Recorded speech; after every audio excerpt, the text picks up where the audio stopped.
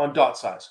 Number one thing that I found in dot size is bigger and brighter is better. Call that the three B's. I just made that up right.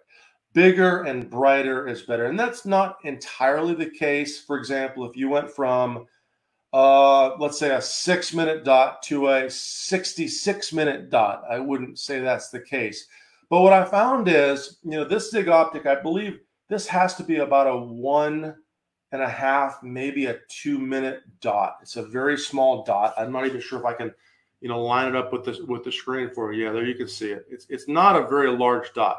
Now, this particular setup, by the way, is true uh, uh, backup iron sights in what we would call the, the middle of the window. So if you look at where those iron sights are compared to the dot, right, they're very much in the middle of the window. Those iron sights, actually, on this gun, when I shoot this gun, I very much pick up the iron sights when I'm picking up the dot. So the dot and the iron sights are very uh, close to each other.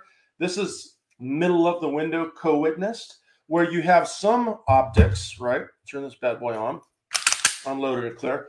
See if I can show you this one. This one is a little bit lower, right?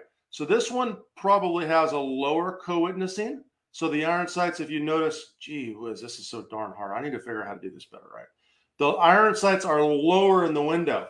But with both those dots, you see they're both bright, they're pretty robust. But what I found is a bigger dot is better. So if you're picking a, for example, a Leupold Delta Point Pro, I would select the, and I think it's either a five or six MOA. It's the newest one. It's the six MOA, I believe, MOA dot versus the 2.5 minute of angle dot, right? So um, in terms